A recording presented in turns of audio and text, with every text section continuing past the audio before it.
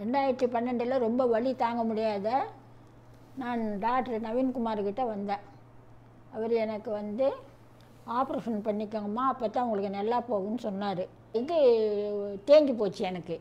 அதனால் அவர் வந்து வேறு ஒரு மூட்டை ஏதோ வச்சு ஒரு போல்ட்டு போட்டு நல்லா முடுக்கி ரொம்ப நல்லா இருந்தது. ஆனால் எனக்கு வந்து தெரிகிற மாதிரி தான் செய்தார் அவர்.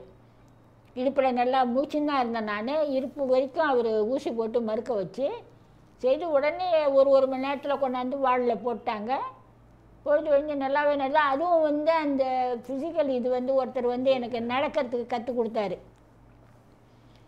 ஒரு மூணு நாள்லேயே நான் நல்லா நடந்தேன். அவரே வந்து நீங்கள் ரொம்ப நல்லா நடக்கிறீங்கம்மான்னு சொன்னார். அப்புறம் ஒரு எட்டு நாளில் நான் வீட்டுக்கு போயிட்டேன். புதன்கிழமை போனேன். அடுத்த புதன்கிழமை வீட்டுக்கு வந்துட்டேன். அதுலேருந்து எந்த பிரச்சனையும் இல்லாமல் நல்லபடியாக இருக்கிறேன். அது பயப்படணுன்ற ஒரு எண்ணமும் கிடையாது.